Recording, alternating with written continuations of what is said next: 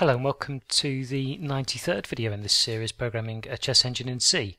It's Been a while since the last video but hopefully you remember in the last video that if I run Vice which I've just before the video compiled again here that we're reading in our polyglot book where the entries are found and then we'd added something into the export mode where if I just type new and force and then polykey that for the current position available we get given along with the polyglot hash key and the index inside the book the move. What we're going to do in this video then is, oops, need to quit there first, is we're going to take terminal away and we're now going to change some of the code around inside our polybook.c to actually start converting the move that we find inside the polyglot book into our internal move.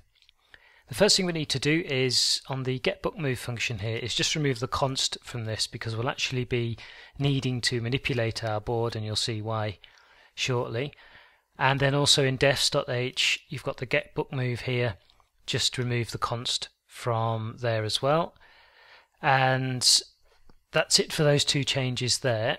Now the way we're going to do this, just as a word of explanation, is you remember from the last video, we've already got the ability to get the file and the rank characters um, from the, the move from the polyglot book, and we showed in the previous video when they're printed to screen that they're correct. We can be fairly satisfied they're correct. So what we can actually do is we can be a little bit lazy and rather look at the promotion piece inside this move and then iterate over the board to see whether it was en passant and construct our move integer that way there's a much quicker way, and that's simply to put together um, so an array of characters with the file car and the rank car, and then the promotion piece if necessary, and simply use the inside the io.c. Remember, we've got this parse move function here, which is why I needed to take the const off the board. So what we'll simply do is create an array of the characters, and then we'll use this parse move function here to see if the move exists on the board and then return the internal move integer, exactly as the way this is used when a user types a move in in Xboard. So that saves a little bit of time. Fortunately, that means we need to make a few changes to the functions here. So the first thing we're going to do is, let me think, let me think, let me think, because I'm doing this on the fly which is always a bad idea, but never mind. Right, so inside list book moves, first thing we'll do, we'll change this start to an index, because we won't be needing start anymore, but we will use this index to print the moves, the internal move list, at the end. And then the other thing we should do is make an array to actually store the book moves that we found, because what we'll be doing in a later video is then picking at random a move from this array. And we need to determine what size we want this array to be. So just to be lazy, let's just do a const int here and just say max book moves. And let's set that to 32. I mean, I'd be very surprised if uh, any position has more than 32 moves. And then what we'll do is set the size of our array here to uh, the 32 moves as well. So this array here will store our internal integer format moves. The next thing we need is we'll need a temporary move here just for what we get back from our passing the move and we'll also make a counter that we can use to index our book moves array and set that to zero. Okay, so if we go now into this loop here, you remember here that we extract the move here using the endian swap when the poly key is the same as the key that we're looking for. So what we can do now actually is we'll actually take away this printf statement here because we don't need it anymore. And now what we want to do is we actually want to assign temp move the conversion of the polyglot move here. Now the conversion here is a function which we're about to write and we'll call this convert poly move to internal move like so and we'll send in the move and we'll send in our board.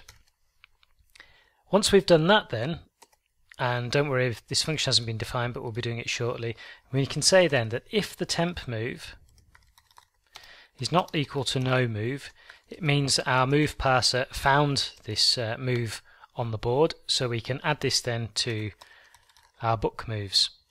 So we can just say book moves and count is equal to our temp move.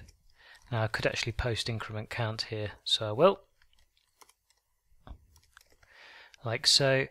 And the last thing we want to do here is actually say, just to make darn sure of things, if count is greater than our max book moves, then we'll just break out of this loop and stop adding book moves. 32 is actually enough, and the loop continues.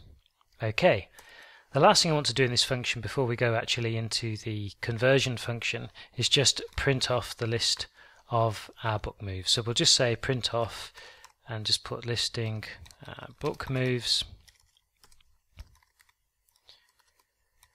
with a new line and a squiggly thing which was by accident and a colon okay and now you'll see why I actually have the um, index here. In fact, I need to remove the start as well because I don't need it anymore, do I?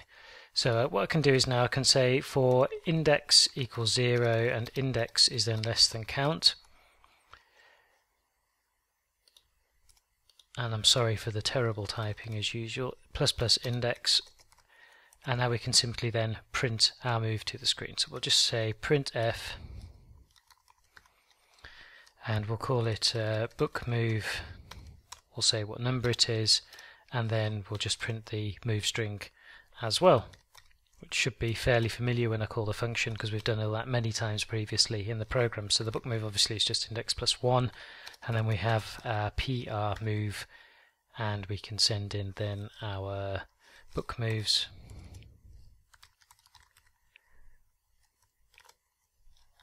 at index the integer for actually printing the move.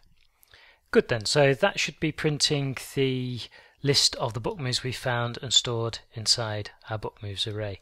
Now obviously this won't compile yet because we haven't written the main function of this video, the convert polymove to internal move, and that's what we're going to do. Now, so it returns then obviously an integer.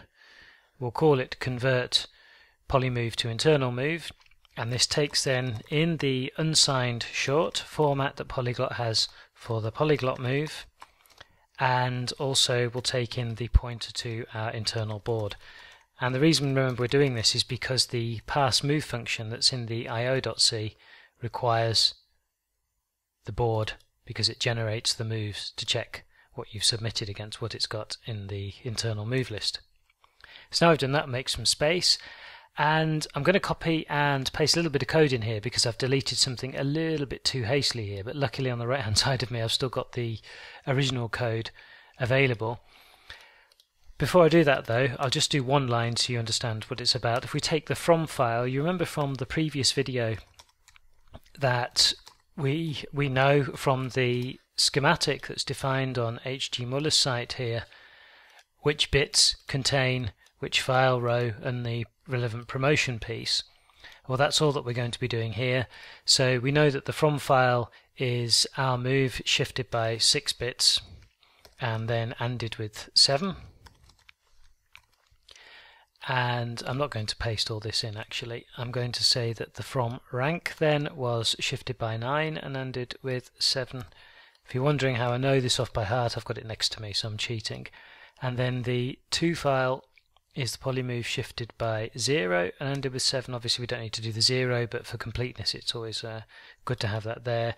The 2 rank is then the polymove shifted by 3 ANDed with 7 and now another thing we'll do is we'll do a PP so it's the promotion piece and that's the polymove shifted by 12 and ANDed with 7. If I just go back to the spec here you'll see here that the last so from the 12th bit onwards, 30 bit, 12, 13 and 14 are the promotion piece, which is encoded like so, knight 1, bishop 2, rook 3 and queen 4.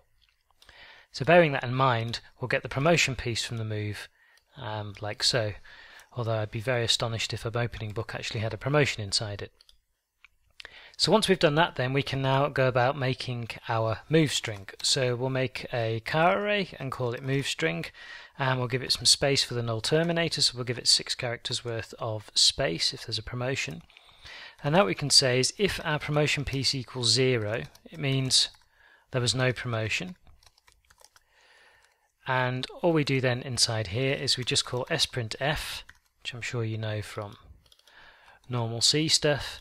So we'll just put into our move string then our four characters. And now the ball ache, which is doing it like so. So we want the file car of the uh, from file, and in fact I'm going to be lazy and hopefully not make any drastic spelling mistakes here. We need the rank car and the rank car, and then we've got the from file and the from rank, and we've got the to file and the to rank in here. So that will put these four characters into our move string, as I'm sure you're aware. Otherwise, we need to have a look at the promotion. So we'll make a car here for the promotion character, and we'll set this by default to be a queen, so a small q. And now what we can say is we can just say to switch our promotion piece, our PP, and now we can say case and remember the 1 was a knight in the specification so we just say case 1 and then we'll just set promcar equal to knight and break. I'll just be lazy and copy that. And a knight and break. Otherwise let's just copy this a couple more times. We're going to have a bishop or a rook remember because we've already got the queen and that was 2 and 3 and we don't need a default on this because we already have the queen by default Okay, so the next thing to do then is exactly the same as we've done above. So I'm going to copy this and drop these in. We need to add one more character on for the promotion piece, which means we need to also add then our prom car like so onto the end of the sprintf statement. So now we have inside our move string then our move either with the E2 E4 format or the E7 E8 Queen format with the five characters like so all that's remaining is actually is simply at the bottom of this function, just make some space, is just to then return, and we simply want to return the passing move from the io.c of our move string and this is where we send our board in and we know that that function will return a no move if it doesn't find the relevant move inside the book. And that's all there is to it. So off screen now, just very quickly, I'm going to hold my breath and compile and see just how badly this has gone, or how many errors I've made, and I've made one an uh, undeclared identifier board where have I made a mistake here. Bear with me a moment. 181, 351.